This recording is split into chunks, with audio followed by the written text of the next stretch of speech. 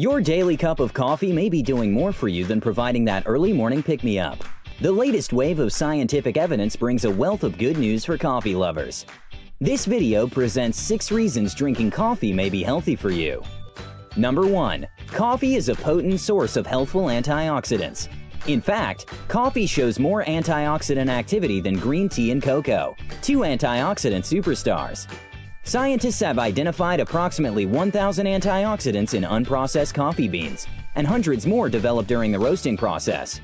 Numerous studies have cited coffee as a major, and in some cases the primary, dietary source of antioxidants for its subjects.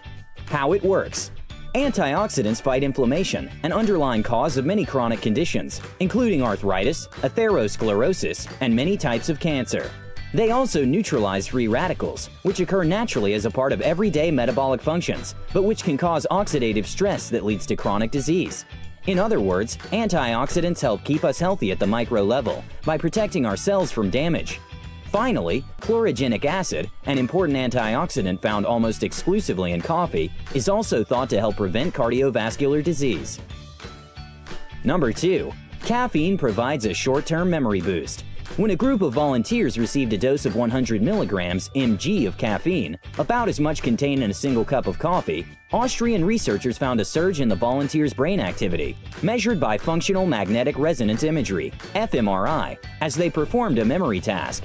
The researchers noted that the memory skills and reaction times of the caffeinated volunteers were also improved when compared to the control group, who received a placebo and showed no increase in brain activity. How it works? Caffeine appears to affect the particular areas of the brain responsible for memory and concentration, providing a boost to short-term memory, although it's not clear how long the effect lasts or how it may vary from person to person. Number 3. Coffee may help protect against cognitive decline. In addition to providing a temporary boost in brain activity and memory, regular coffee consumption may help prevent cognitive decline associated with Alzheimer's disease and other types of dementia. In one promising Finnish study, researchers found that drinking 3 to 5 cups of coffee daily at midlife was associated with a 65% decreased risk of Alzheimer's and dementia in later life. How it works? There are several theories about how coffee may help prevent or protect against cognitive decline. One working theory, caffeine prevents the buildup of beta amyloid plaque that may contribute to the onset and progression of Alzheimer's. Researchers also theorize that because coffee drinking may be associated with a decreased risk of type 2 diabetes, a risk factor for dementia, it also lowers the risk for developing dementia. Number 4. Coffee may help curb certain cancers. Men who drink coffee may be at a lower risk of developing aggressive prostate cancer. In addition, new research from the Harvard School of Public Health suggests that drinking four or more cups of coffee daily decreased the risk of endometrial cancer in women by 25%, as compared to women who drank less than one cup a day. Researchers have also found ties between regular coffee drinking and lower rates of liver, colon, breast, and rectal cancers. How it works? Polyphenols, antioxidant phytochemicals found in coffee, have demonstrated anti-carcinogenic properties in several studies and are thought to help reduce the inflammation that could be responsible for some tumors. Number 5. Coffee may lessen your risk of developing type 2 diabetes.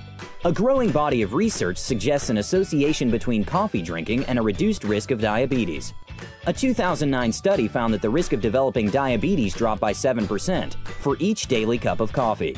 Previous epidemiological studies reported that heavy coffee drinkers, those who regularly drink four or more cups daily, had a 50% lower risk of developing diabetes than light drinkers or non-drinkers. How it works?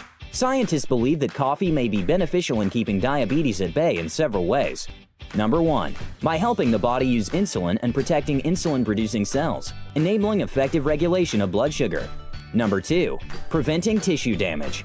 And number 3. Battling inflammation, a known risk factor for type 2 diabetes. One component of coffee known as caffeic acid has been found to be particularly significant in reducing the toxic accumulation of abnormal protein deposits, amyloid fibrils, found in people with type 2 diabetes. Decaffeinated coffee is thought to be as beneficial or more so than regular. Number 6. Coffee can enhance exercise performance. We've been conditioned to believe that caffeine is dehydrating, one of the primary reasons why fitness experts recommend nixing coffee pre and post-workout. However, recent research suggests that moderate caffeine consumption, up to about 500 milligrams, or about 5 cups per day, doesn't dehydrate exercisers enough to interfere with their workout. In addition, coffee helps battle fatigue, enabling you to exercise longer. How it works? Caffeine is a performance and endurance enhancer. Not only does it fight fatigue, but it also strengthens muscle contraction, reduces the exerciser's perception of pain, and increases fatty acids in the blood, which supports endurance. The bottom line? Coffee is a highly popular beverage around the globe that boasts a number of impressive health benefits. If you enjoy its taste and tolerate its caffeine content, don't hesitate to pour yourself a cup or more throughout the day. Thanks for watching. Don't forget to like, share, and subscribe to our channel to stay updated with our videos of food and nutrition.